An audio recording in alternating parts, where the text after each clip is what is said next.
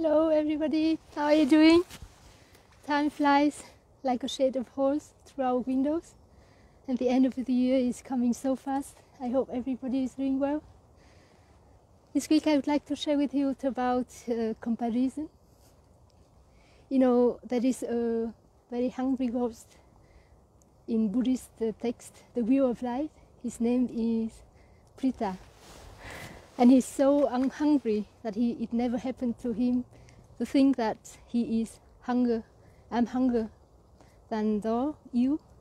And later on when he was in hell he didn't think that i was suffering more than you.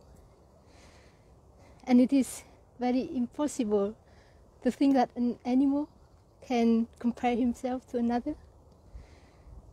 And why us human beings are always comparing ourselves with each other.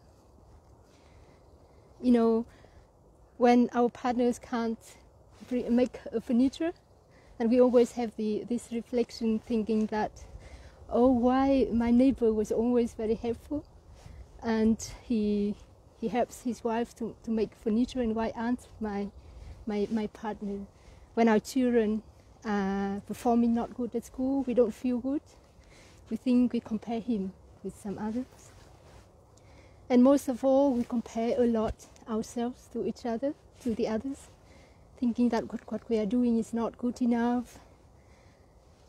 And it is in our consciousness, human consciousness, always have this natural tendency to, to compare. And it is not always comparing as superior.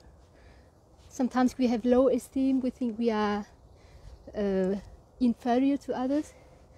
But sometimes when we compare that, for example, I'm as good as others, it's always a, a form of conceit, form of comparison. So why we are comparing? Because we, human beings, we, we think that we are separate from each other. We feel our separation, we feel our isolation. And so today I, this week I would like to invite you to practice with me to rise over the tendency of comparison. It's a form of conceit.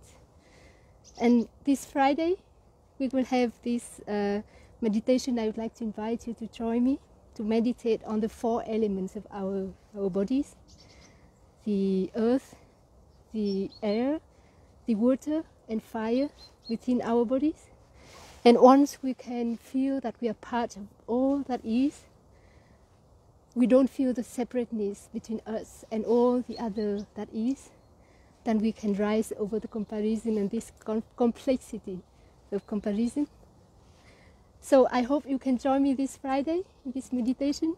And I wish you a really lovely day, my friends, and see you.